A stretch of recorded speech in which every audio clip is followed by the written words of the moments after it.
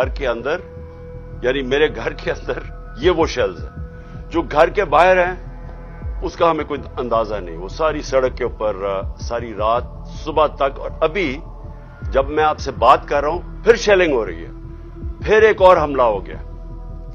तो मैं अपनी कौम के सामने एक सवाल रखना चाहता हूँ कि ये कौन सा मैंने इतना बड़ा जुर्म किया था कि मेरे घर के ऊपर हमला कभी किसी पॉलिटिकल लीडर के घर के ऊपर इस तरह शेलिंग नहीं हुई। इसकी कोई तो क्या वजह थी? मेरा जुर्म क्या था?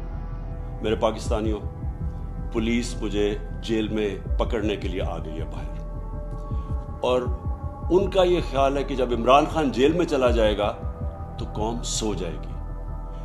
आपने इनको गलत साबित करना है। आपने ये साबित करना है कि ज़िंदा कौम है। लाहौर में पाकिस्तान तहरीक इंसाफ के अध्यक्ष और पूर्व प्रधानमंत्री इमरान खान के आवास के बाहर बख्तरबंद पुलिस वाहन उनकी गिरफ्तारी के लिए पहुँचे थे। बता दें कि इमरान खान के समर्थक मंगलवार को भ्रष्टाचार के आरोपों में उनकी गिरफ्तारी को विफल करने के लिए उनके आवास के बाहर पुलिस से भिड़ गए, जिस दौरान पुलिस ने शेलिंग की। झड़प में उनकी पार्टी के कई कार्यकर्ता और पुलिसकर्मी घायल भी हो गए हैं। साथ ही देश भर के कई शहरों में विरोध प्रदर्शन भी जारी हो गया है।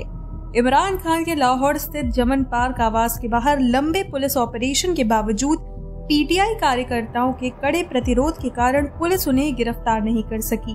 आपको बताते चले कि इमरान को गिरफ़्तार करने की कोशिश पिछले 19 घंटे से जारी है। उनके समर्थकों के भारी विरोध के चलते पुलिस उन्हें पकड़ नहीं पाई है।